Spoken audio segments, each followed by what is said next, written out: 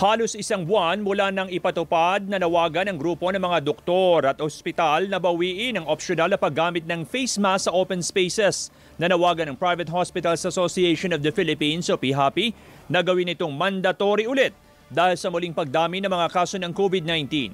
Ayon kay PHAPI President Dr. Jose Rene de Grano, bagamat hindi malinaw kung ang pagluwag sa face mask policy ang dahilan ng pagdami ng kaso, mas epektibo pa ring magsuot ng face mask kahit sa mga well-ventilated na lugar para maiwasan ang pagkalat ng impeksyon. Kinikilala naman ng Philippine College of Physicians na nasa puder ng Pangulo ang optional masking pero nananawagan sila sa publikong mag-face mask pa rin kahit sa open spaces. Ayon kay Dr. Maricar Limpin, ang pagtaas ng COVID cases ngayon ay dahil sa in-person classes at posibleng sa mga susunod na linggo makikitang epekto sa kaso ng optional outdoor masking. Kaya mas mainam anyang iisa lang ang panuntunan sa face mask lalo't malapit ng mag full face-to-face classes. Uh, medyo mahirap lang ho talaga doon sa optional.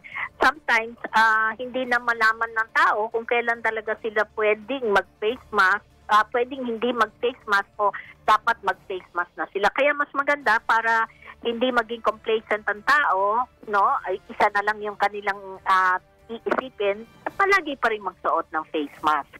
Alam niyo po, kahit po nasa labas tayo, maganda ang ventilation, uh, pero hindi po natin tayo, hindi tayo nakakasiguro kung sino ang ating nakakasalamuha, nating ng mga nakakasalubong na maaari pong kahit wala silang nararamdaman o wala silang simptomas, ay posible pong nagpa-positive ang mga yan.